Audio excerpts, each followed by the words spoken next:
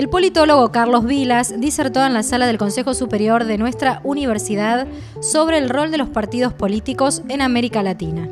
Esta actividad fue organizada por la materia Política y Sociedad del Instituto de Ciencias Sociales y Administración. Desde la carrera de Trabajo Social es un honor eh, acompañar esta actividad organizada por la materia Política y Sociedad, que es la invitación a Carlos Vila, uno de los intelectuales contemporáneos más propios más interesantes, que forma parte de la bibliografía y que permite con el intercambio con el autor eh, profundizar en el conocimiento de su obra y de esta manera también eh, de la situación que está viviendo el país.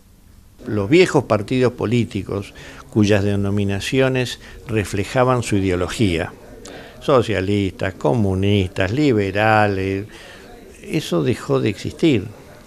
Los nombres son más bien extravagantes o son espacios. Un espacio es una cosa vacía que se llena.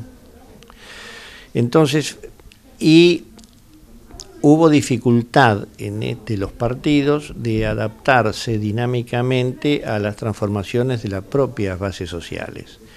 En esas condiciones surgen los, grandes dirigentes, como fue en los años 40 Perón eh, o Vargas en, Brasil. Bueno, eh, los Kirchner, eh, Néstor fundamentalmente, Chávez, Lula son la expresión de demandas sociales y de aspiraciones populares que no tienen cabal cabida dentro de los uh, rótulos partidarios. Quizás lo de Lula parcialmente sea así, porque ellos venían generando el partido de los trabajadores, el PT, desde mucho antes.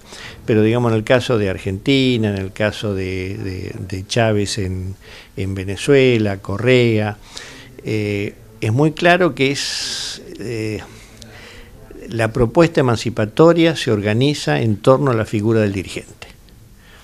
En ese dirigente los pueblos proyectan sus ansias de liberación, de justicia social.